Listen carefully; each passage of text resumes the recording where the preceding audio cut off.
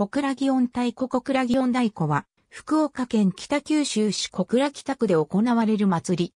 小倉城内に鎮座している、八坂神社の霊大祭で、江戸時代以来、約400年の歴史を有する古い祭りである。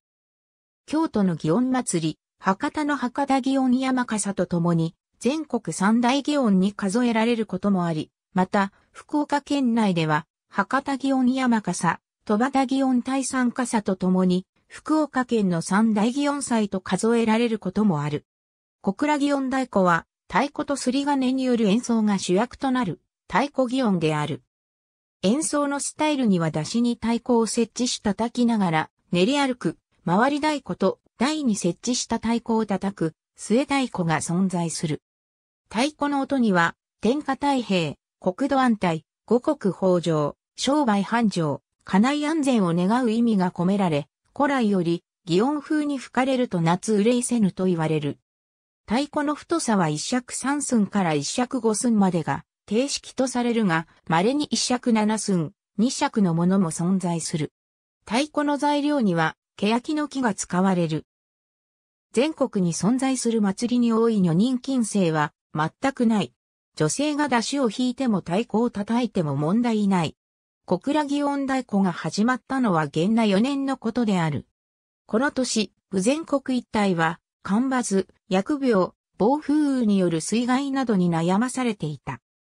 当時の藩主、細川忠興は下方を監禁して被災者救済にあて、自らも八坂神社に賛同したところ平穏を取り戻したことから、領民を招いて、旧暦の6月10日から3日3番、京都の祇園祭りをもとにした盛大な祇園祭りを行ったのが始まりとされる。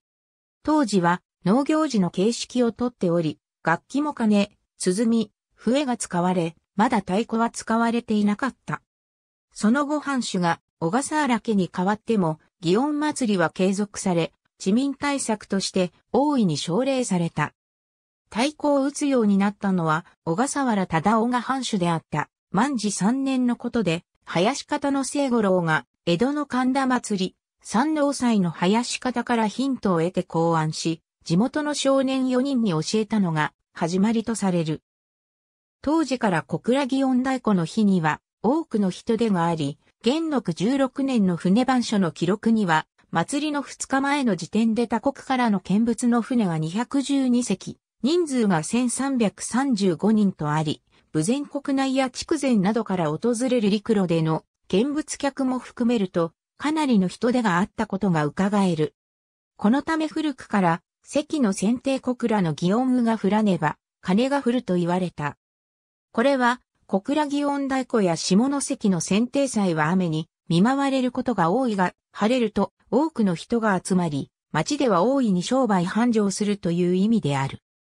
当時の小倉祇園太鼓はみこしに飾り山、踊り車、笠鉾が巡行し、練り歩くもので、城主が在国の年には城内に練り込み、城主が物宮蔵からそれを見物したという。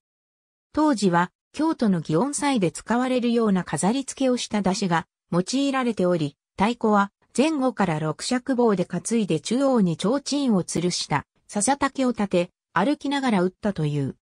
幕末から明治時代を境に祭りの様式は大きく変化することになる。そのきっかけとなったのは、幕末の慶応2年に起こった長州戦争である。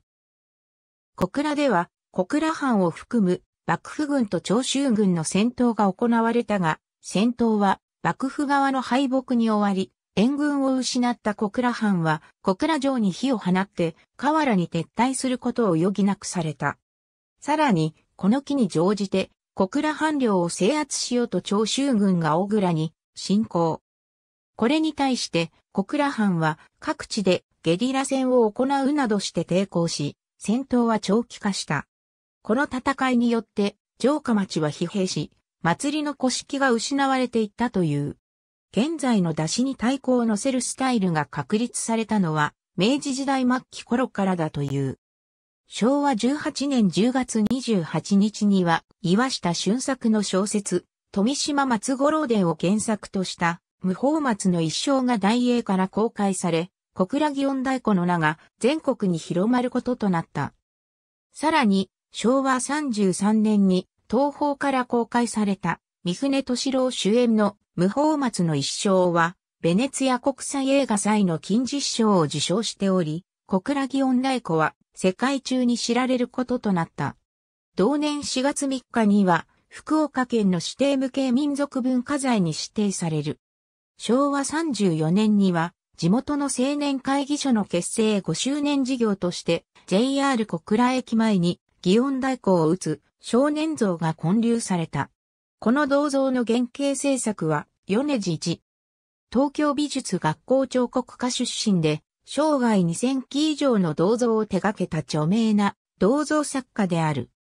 この際銅像を模した太鼓人形が土産物として販売され、衣装券によって得た資金が銅像奨学金として地元の高校生に無償で提供された。ちなみに銅像のモデルとなったのは前年のコンクールで優勝した朝日町の子供会チームで銅像の台座には区内の各町内会や子供会が持ち寄った小石が詰め込まれている。現在では女性も祭りへの参加が認められているほか、企業の参加も認められるようになり、北九州市役所の各部局、JR 九州、JR 西日本、一部の中学校などが参加し、以前とはかなり様相が異なっている。また、太鼓を乗せた出しは子供たちが掛け声をかけて弾いていたが、少子化により出しを弾く児童が減少したために、教演会に据え太鼓部門が創設された。近年では、保存会と称して、祭り期間にこだわらず、年間を通して活動している団体も多数存在するようになったが、一方で保存会が乱立し、決められた時間や場所を守らないなどのマナー違反も指摘されている。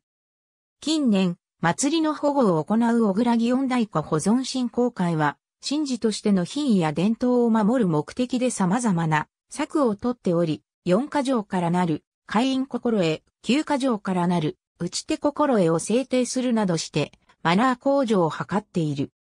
平成31年2月8日、文部科学省の文化審議会は、小倉祇園祭りの小倉祇園太鼓を国の重要無形民族文化財に指定すると答申し、今後正式に国指定が決定される運びとなった。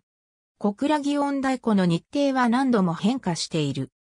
当初は6月10日から行われたというが、その後7月10日から12日の3日間となり、昭和62年からは7月の第3金土日となって現在に至っている。年によっても詳細は異なるが、現在の日程は概ね以下の通りである。まず、春に神を迎えるにあたって、町内や家を清める敷地払いが行われる。7月初めには、打ち始め式が行われ、太鼓の稽古が解禁される。一週間ほど前には、八坂神社でお潮取りが行われる。この頃から町には高締めや登り、初木岳などが掲げられるようになる。前日の木曜日には、KBC ラジオ歌の祭典小倉祇温泉や祭りがアルモニー3区で開催され、演歌歌手のステージや祇園太鼓が披露される。夜には、八坂神社に参拝してから、出汁が町内を回る宵祇園が行われる。祭りの初日には、八坂神社でご神幸祭が行われる。午前中に神事が行われた後、みこしや出汁などからなるご神幸行列が八坂神社を出発して、田町、室町、京町、馬借、魚町と巡りながら時和橋のそばに設けられたお旅所へ向かう。二日目の朝にみこしはお旅所を出発し、昼頃に八坂神社に観光する。町では、共演大会が行われる。共演大会は、町内会と企業の3つの部門に分けられており、毎年数十チームが参加する。3日目には末太鼓の共演会が行われ、夜には小倉中心部で各町内の出汁が共演する太鼓広場が行われる。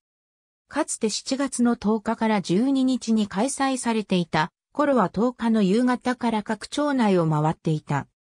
11日は昼に共演会が行われ、夜は中心部の中央銀座通りと三影通りを使って太鼓広場が行われた。小倉祇園太鼓の最大の特徴は、全国でも珍しい両面打ちを行う点である。両面の打ち手の役割は明確に区別されており、それぞれ泥、管と呼ばれ、刻むリズムや音の高さが異なる。泥と管、それにジャンガラが三位一体となることで、小倉祇音大孤独特の賑やかなリズムが生まれる。泥は、どんこどんこと単調なリズムを刻む。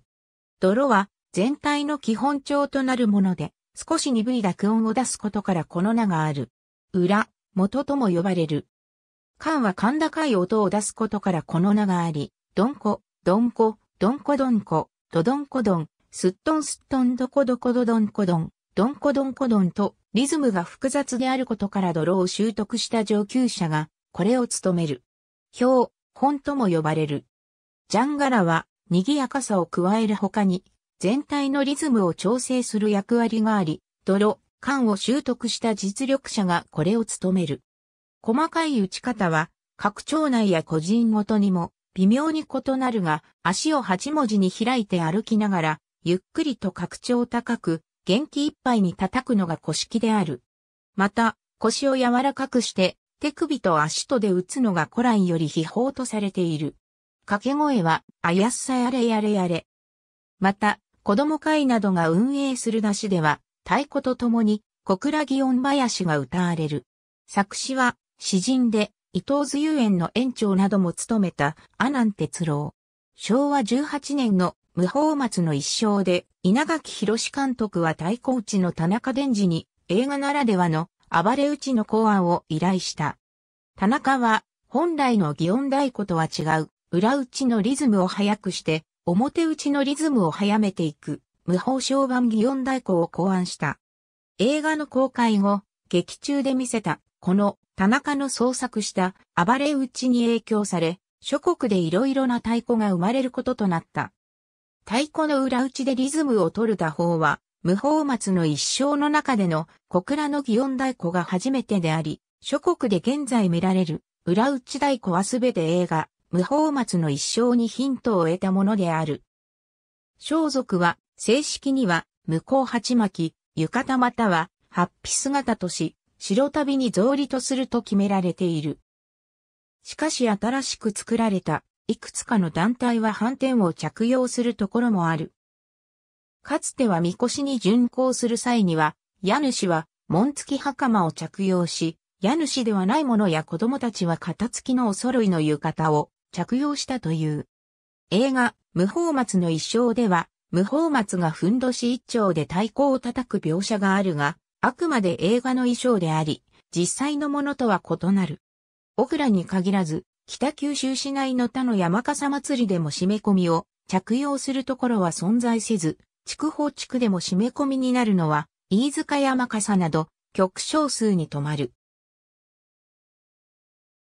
基地、141ページ ABC 小倉祇音太鼓、保存進行会、6から7ページ ABC 基地、142ページ ABCD 基地、143ページ AB 基地、141ページ ABCDEFG 朝日新聞西部本社、76から77ページ ABCDEF アクロス、福岡文化史編纂委員会編、77ページ基地、130ページ神社新報企画編 ABC 小倉祇音太鼓保存振興会8ページ。小倉祇音祭りの小倉祇音太鼓の国重要無形民族文化財への指定にかかる答申について。北九州市。2019年3月9日閲覧。ABCDEF 基地144ページ基地145ページ。ヒゲとちょんまげ原秀明重信幸彦編。57ページ。ありがとうございます。